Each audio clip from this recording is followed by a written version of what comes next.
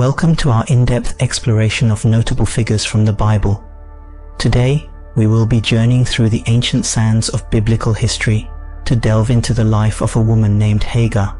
Despite her humble beginnings as Sarah's maidservant, Hagar's story is far from ordinary. It is one of despair, resilience, faith, and divine revelation. Not merely a servant, Hagar became the mother of Ishmael, forever shaping the trajectory of Abrahamic lineage. Bridging the gap between servitude and motherhood, Hagar found herself at the center of a domestic struggle, a struggle that turned her into a refugee and ultimately led to divine intervention. Through her experience, the narrative of Hagar raises poignant questions about power, desperation, survival, and grace that continue to resonate in contemporary dialogues. Join us as we unpack the rich and often overlooked story of Hagar situating her within her historical context and examining her lasting impact on the Judeo-Christian and Islamic traditions.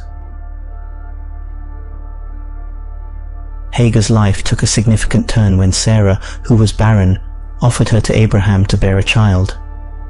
This resulted in the birth of Ishmael, marking Hagar's transformation from a servant to the mother of Abraham's firstborn.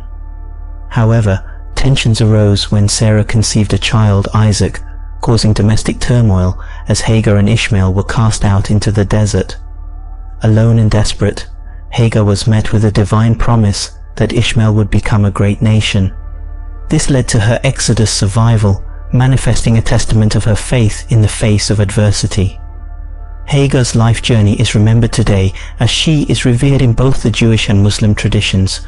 In Islam, her desperate search for water in the barren desert resulted in the miraculous emergence of the Zamzam well, a pivotal aspect of the Hajj ritual. Thus, Hagar's life, marked by despair, resilience, faith, and divine revelation, significantly impacts and transcends religious boundaries. Hagar's story shows the multifaceted nature of God's divine will and its interaction with human agency. Despite being a maidservant and a refugee, she bore Abraham's first son Ishmael, thus fulfilling God's promise of abundant offspring. However, her travails indicate God's will isn't always painless or straightforward, but it ultimately leads to fulfillment.